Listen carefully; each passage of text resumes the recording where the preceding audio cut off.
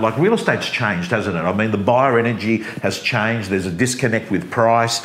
Um, um, I'm just curious. Um, at the moment, you still do auctions? Is auctions a big thing in your business? Yeah, well, auctions are a big part of our our campaigns Right. um, and our strategy. Whether we actually get a property to auction or not depends on the amount of interest we've got in the property and the level of interest. Right. Okay, so um, let's talk a little bit about that because I know that you got strong views about you know managing an auction, selling it prior, um, um, you know, w- running it to the day. What's your view on that? Right. My view is to ensure that we achieve our vendor the best possible price.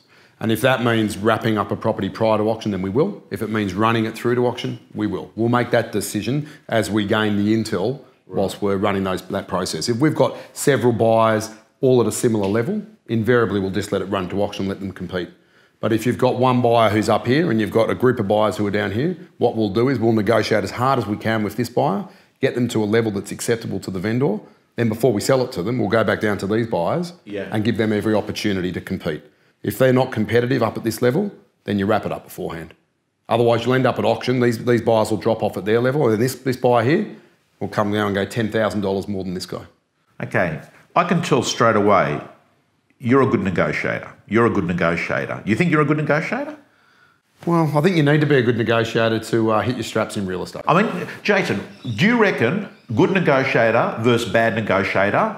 What difference can they bring to the table? Oh, it can be a disaster for the vendor. Right. We are, we are negotiators. That's what we do. That's what we're I mean, the most expensive thing I think you can do in real estate is to put a good buyer in front of a bad agent, right? That can be really expensive. We have entered uncharted times. Prices are dropping. Your vendors want too much. Scripts and dialogues of yesterday have now expired. Do you know how to grow an effective business unit? You need more listings.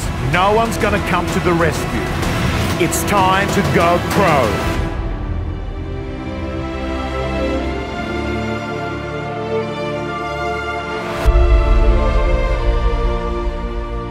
I opened an office at 22. I'm no textbook teacher. No training program survives collision with reality. I feel your pain. I will show you exactly what works and why I've trained more million dollar agents than anyone else in Australasia.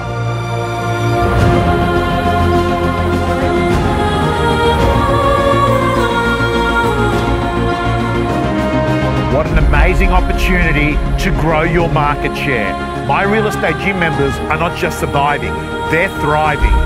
You're given scripts and dialogues, you're given templates. You are in a community of success, and on top of online, you've got offline. I'm with you on a face to face basis with exclusive workshops for real estate gym members only. The real estate gym comes with my prospector, a self accountability tool that has helped real estate agents make prospecting a world class ritual for them. The real estate gym doors are now open. Press the link below, and for less than three coffees a week, I will be your coach for the next 12 months. Let's plan a future bigger than your past. Never let your personal history get in the way of your destiny. Who you are is not who you can be.